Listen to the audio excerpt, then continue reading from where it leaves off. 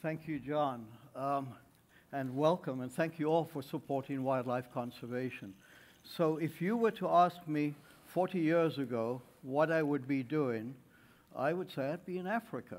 And I grew up there, I was born there, and I was going to go back and study the leopard. But something happened on the way. I got my degree at UC Berkeley, and I decided on the way back to Africa, I really wanted to see some mountains because there are no mountains in Zimbabwe, or very few. And I went to the Himalayas, and I ended up in the most remote part of Nepal, I think. Uh, and I wanted to go on Sherpas. You know, I heard about Sherpas. I went on a trek. Where did I go? To a snow leopard area. And I saw that Snow leopards were obviously very shy. I never saw one, but people were hunting them because they were a threat to their livelihood. And I said, well, you know, Africa has plenty of researchers. Maybe I should go back uh, and I should look for money and study snow leopards. So a few years later, I was lucky enough to win the Rolex Award for Enterprise, which of course made all this possible. And this cat, I don't often see it, as John indicates. Maybe in my 40 years, I've probably seen it 45 or 50 times, but not much more than that. It's incredibly elusive, but boy, does it capture you. And this is my expedition way back in 1980s, early 80s. Snow leopards had never been studied before, and we picked, I think, a great study site in far western Nepal. We got money from National Geographic, so we were able to put the first radio collars on snow leopards and track them in a study that became a seminal study really for 20 years. It was the cover story, much to my delight and amazement, really, in 1986. And it really brought attention to this rare cat that people have heard about that was endangered. But of course, the threats are always there. They're still there. Back in those days, the big threat was fur coats being traded for a fur coat like that, $60,000 in Europe. It was fashionable to wear them. Nowadays, you can move ahead and the, on the right there, you can see the snow leopard pelt. Well, those bones are very valuable for East Asian medicinal purposes, so they find their way there. So cats do have a lot of threats. One of the big challenges is that they live in such a vast area. 12 nations of Central Asia, you can see in this image. It's taken at night, so it's a satellite picture. All those white spots are city lights or town lights. And the most amazing thing, of course, is that snow leopards are in some of the least populated parts of the world, which really helps a cat because that way the number of threats are a little more constrained. The people that live them are mostly pastoralists, and that we can deal with that. However, we do have a challenge that a lot of these countries, as you can look at this range in the orange area, you can see it's often along border areas. So one of the critical things we have to do is to work between nations, across nations, which is not an easy thing to do. The other problem with snow leopards is that they live in really high mountain areas. So I work anywhere from 10,000 feet to 16 or 17. In Mongolia, they go down to about seven, I guess.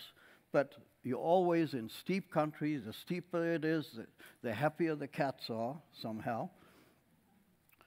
And after we did our study, my first 10 years or so of, of my career, actually, and this is back, I, am in my mid 30s, going on early 40s, was spent on training local people, local rangers, how to survey this elusive animal that nobody ever saw through techniques in Bhutan, in Nepal, in Mongolia, Pakistan, and critical ranges.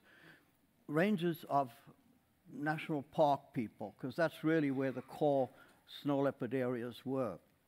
However, I realized very quickly that parks people didn't always have the resources to go out, that the front line were the local communities, as you can see here. Now, this is a mass killing, this is a major mur murder sequence, I guess, where a snow leopard got into a livestock pen at night, killed the entire holdings of a family, their sheep and their goats, which is like their bank account being wiped out. Somebody broke into the bank and took all your money. Naturally, they look at snow leopards as a, an incredible pest. So how do we change this? And this is the rest of my life, and I find, I think my career, the really the most satisfying part was working with local communities, with the individual herders like this guy, Tashi Langel, and his family, and by simply putting up a predator-proof corral, wire mesh over the roof, as you can see there, strengthen the stone wall, you can stop the snow leopard from getting into the pen at night when they're usually out hunting, and you stop this catastrophic loss. And immediately, the local community are far more willing to see and to coexist with snow leopards. They see them actually as assets if we take the big next step. And the big next step really is how do you improve the income uh, opportunities for these mountain people? So the average income probably in snow leopard range, and this would be in rural areas, is around four to six hundred dollars a year. And if we can bring in another uh, 500 $1,000, you've really got a win-win situation because now the family can send their kid to the good schools. And there are no schools, as you can imagine, in these remote areas. But they can go to the local town and get educated and have a good future. And with that has come a real change in snowbirds. Instead of being secretive, where you never see them, I see them once a year or something like that, now I can go to a, a particular reserve like Hemis, and in, oh, seven days, I can see them four or five times, sometimes from 50 yards away. So this is a dramatic change, and I really put this down to the local people. Well, there's a cat watching us. This is taken with a cell phone, believe it or not. so it's really, and not taken by me, but by one of the tourists who come out and look for snow leopards, and was very lucky to get close because this cat was on a kill. But this brings me to the next stage of my career. So 40 years helping study them and protect them. I realized that the real legacy, the critical challenge in this world today is handing over to the next generation. These kids, this is an International Snow Leopard Day in Russia, in the Altai Republic, and, you know, we are uh, showing them their traditional animal, their keystone animal that lives in the mountains that they never see, few people ever see, because it's shy, because it's been poached or hunted. We want them to be the next generation. And so I am really appreciative for WCN because they've enabled me to work on this cat, to work with the communities, and now through the network that is being developed here, to train and engage the next uh, series of conservationists. And as this cat walks away from us, um, I really want to make sure it has a, a good, strong future. And the best future is with some of the young people that I met. And it, I'm very delightful, delighted to be able to introduce one of our latest, Rinzin uh, Wanchuk Lama, Punchuk Lama.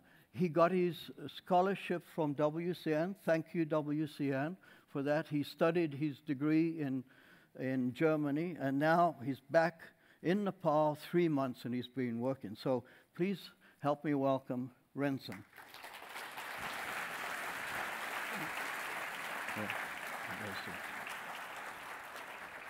Good afternoon, everybody. Thank you, Dr. Rodney, for the brief intro. I feel really great to be here. No, no, no, no, I'll just go back. I first saw a snow leopard when I was 17.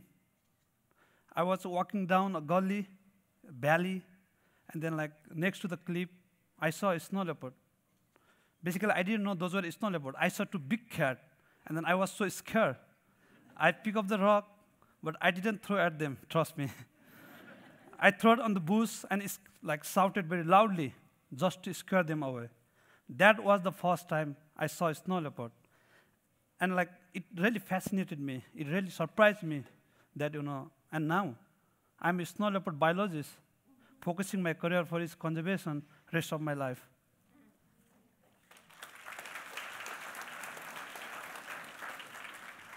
So I was born in an indigenous Buddhist community called Ninba.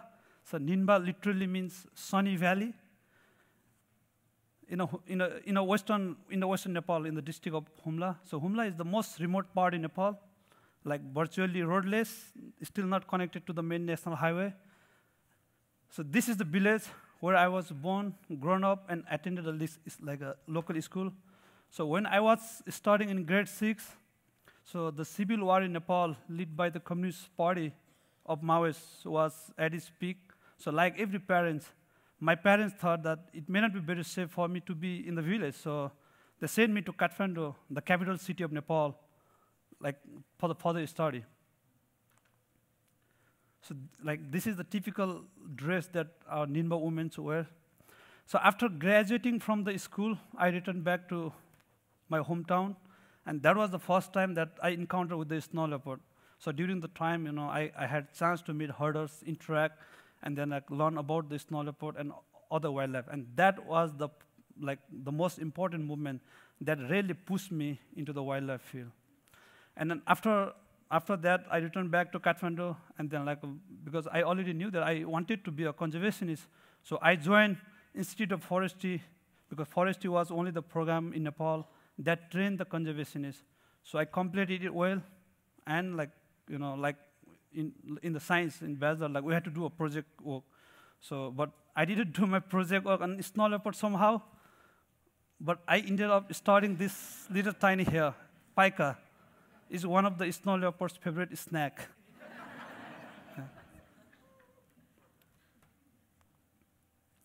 So after graduating from the Institute of Forestry, Pokhara, so I returned back to my hometown again to do a first ever camera trapping survey of the snow leopard. So which ended up recording snow leopard in the region for the first time ever. So this was the picture we recorded during that time, and coincidentally, the picture was captured on like July 28, which was my birthday. so that was a big surprise. So during the survey, like we visited to herders, we recorded the livestock, you know, like we, we, were, we wanted to study how the conflict was. So we interviewed herders about the livestock loss, and then we found there is a serious conflict, and there was no measure like taken to reduce the conflict. And then somewhere in my mind, I thought, okay, I should be doing something. I didn't promise anyone, but I had a feeling that, okay, I should do something. So this is the yak, the symbol of highland livestock husbandry is the most like valuable livestock the people have in the highland of Nepal. So one of the reasons I found like the snow leopard frequently predating upon the livestock was, you know, like the livestock and the snow leopard's prey, blue sheep, like they often use the same area for grazing. So like when they graze together, the livestock were always easy to kill by a snow leopard. The other important reason was the herders. They live up in the mountain. The snow leopard are poor herders. They can afford to build a predator-proof corral, or they like they don't find the materials easily to build those corral. So that is one of the, like one of the reasons snow leopard jumps into the corral and kill livestock. So in the picture, you can see a herder's camp with a very poorly fenced corral. As Dr. Rodney like mentioned, so the situation is even more severe in case of the small stock like and sheep. The snow leopard would jump into the corral and kill each of everyone until there is no movement. So that is the most difficult situation, which often like results in retaliatory killing of the snow leopard. That is why reducing conflict is one of the most important things in reducing the threat to snow leopard. So we have been like we have been doing lots of activities, I would say, like, you know, integrated approach to conservation. That is what I like to call integrated approach to conservation. So, the, like, the key thing we are focusing on is on the herders' education, because, like, uh, they are the one who spend most of the time with the snow leopard, so they need to be educated about the importance of snow leopard, the potential they can bring to the community through tourism. The second is, you know, helping them reduce the livestock depredation so this in the picture is the fox light with the horror's background. So this is the fox light, you know, like a, it's a flashing light. It, it has a automatic like a solar charge system. So it throws high rays, like rays in the mountain. You know, as soon as it get night, in the nighttime, it throws the rays in different color. So up in the mountain where there are no settlement, like when the snow leopard sees such unusual lighting, they get a feeling, you know, they get a feeling of human presence, or like they just get scared of this light and they stop coming close to the livestock corral. So this is what like the hunters have the biggest weapon, not to kill the snow leopard, but to push the snow leopard away.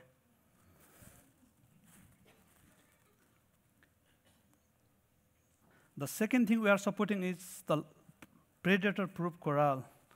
Actually, like between the pole, there is an iron mesh actually. So to the most vulnerable herders, the poor and those who lives in the most vulnerable, like vulnerable to the snow leopard habitat, which are more prone to get attacked by snow leopard. So we have been supporting this predator-proof corral. The one of the like this is a very good measure actually. You know, it, it, it makes 100% protection of the livestock at night time, but the cost of construction is a little bit more with this. The third thing we are focusing is the educating the school children, because like, uh, like they are the future of the society. So we have been focusing lots of program on school children to increase their interest in the field of wildlife conservation. So to promote them as a future conservationists and who can lead the conservation work in their community. So in the picture, my colleague Tashi R. Ghale is demonstrating the camera trap handling to the school children. So this is the picture of the school children participating in celebrating the International Snow Leopard Day. So in addition to these activities, like we believe not only fo just focusing on the people or the community or the herders living in the snow leopard range would help to protect the species. We also believe that like the awareness should spread among the general public so that like people in a like bigger number knows about the snow leopard. So that is why like we have been running a radio program in Nepal. So perhaps the biggest ever radio program focusing on the snow leopard conservation awareness in Nepal. So in the picture, I'm handing the radio, shortwave radio to the herders to listen so that they can listen to our radio program, listen to the news, what is happening in the country, and like they can produce some noise in the herder set. So it might help to deter the snow leopard. So apart from these conservation activities, we believe like the research is one of the like strong foundation in building the effective conservation measures. So like we, we, we do a lots of livestock depredation studies. So what are the ecological factor that is really pushing snow leopard to kill livestock? Or like we also study about the snow leopard population, the prey status, and then like the habitat status. So in the picture, like I'm, inter I'm interviewing herders about livestock loss. So this is inside the tent made out of the yak wool. So as you are, as you might be aware, you know, winter is the best time to see snow leopard but this is the most difficult time in the mountain that we get big snowfall. So we climb up several hours to get to the camera trap site to clean up the snow so that the camera works properly and keeps capturing the snow leopard. And the other thing we do is like spending lots of time scanning through the binoculars, the spotting scope looking for the snow leopard but hardly we could see any. It's, it's not that easy. Sometimes, like we see us, most of the time we don't see it. And we also use the spotting scope to count snow leopard spray blue sheep. Now, like I'm gonna take you to my project site. Hold your breath for a while. It's, it's really thrilling.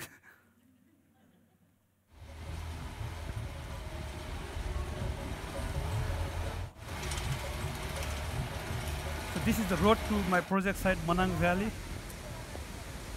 The quality is not very good because I filmed it from my mobile phone. So this is from my recent trip to my field. So as snow leopard lives above 10,000 feet in the mountain, like the, like the terrain they live, the climate they live is really extreme.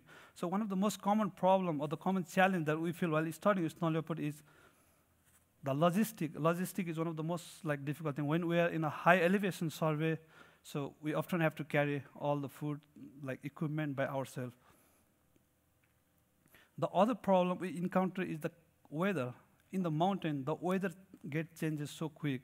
So it's sunny in the morning and it might get snow in the afternoon. So that is what we have to deal with most of the time.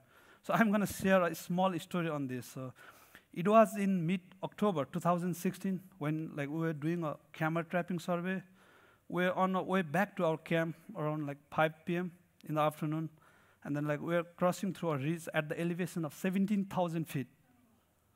And then like slowly, the fog started covering the area.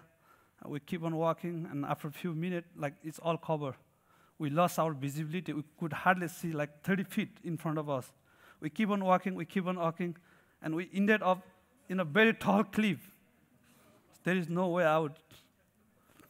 So we relaxed, we took a deep breath, and then like we returned back. We decided, and I and my other two colleagues, we were together, and we decided to go back what the way we come. By the time it was already dark, it started snowing, but we keep on walking. We keep on walking, and then luckily, we found a landslide area. And we were familiar to this landslide area, and then we relaxed, and we knew that the landslide would lead us to the stream, and through the stream we could get to the campsite. So three of us sit together, and we like we decided, okay, let's slide down through the landslide. And then following the landslide for like 40 minutes, we got to the stream, and then slowly we got to the camp at 10 p.m. in the at night, weight and weak body. So this is something we often deals with in the mountain while starting with snow leopard. It's, it's the, like the terrain because of the terrain. Regardless of all these challenges, the difficulties that we come through, there are big movement or there are good movement to celebrate. The most important moment is when the snow leopard passed by one of our camera trap and leaves a selfie. Or the one when we see one live in the field, like this. So this is, this is the photograph my colleague Tashi R. Ghale uh, captured in our project site Manang Valley. So you can see how well they are camouflaged with the environment. So he was also recently awarded with the Disney Conservation Hero Award. This some more picture.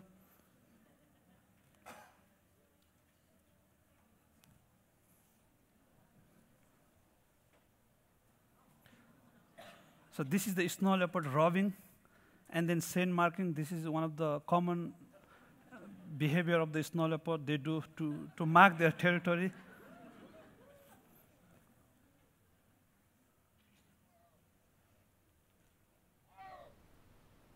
Can you hear the sound? Yeah, this is called yelling because snow leopard doesn't roar like a lion or tiger. So in the winter, like from February to late March, that is the mating time of the snow leopard. So in the picture, like the female snow leopard is calling its male for the hangout, dating, you know, like to hang out. You, you understand what I mean? so this, these are some more pictures from our camera trap the same more picture. So this is at the elevation of, I think, around 18,000 feet. So while starting snow leopard, like we get, you know, like the achievement also. So this is a picture of the Himalayan wolf we photographed in our project site. So the wolf was abundant in the valley before. That is like based on our study, we found that wolf were abundant, but like they were killed and completely like gone from the valley because of the livestock predation. So that is one of the things like we worry, I worry about, which, which might happen with the snow leopard. So in the last 10 years, I had a chance to visit almost every snow leopard range in Nepal, throughout the whole snow leopard range in Nepal. I met hundreds of herders, I interact with them, and then I, I witness anger, frustration, those who lose livestock. And I also witness love, passion, those who really believe that this species should be protected. This elusive cat shouldn't go extinct. And the most important, I also met the herders who are really willing to participate in the bigger conservation campaign, given the help that, you know, in, if we help them reduce livestock loss and help build alternative sources of income opportunities. So from my recent trip to the field, like I recall uh, a says from the herders on the use of the fox light in their words. Like after the use of this light, the snow leopard attack on the livestock at night time has gone down. So this has not only helped us reduce the livestock loss, but help us sleep better. So the changes are possible. You know, together we can make the change. With your support, our engagement, engaging the local community, herders, scientists, students, everybody, we can create a better future for snow leopard and the fragile mountain ecosystem. Thank you. Thank you for being here.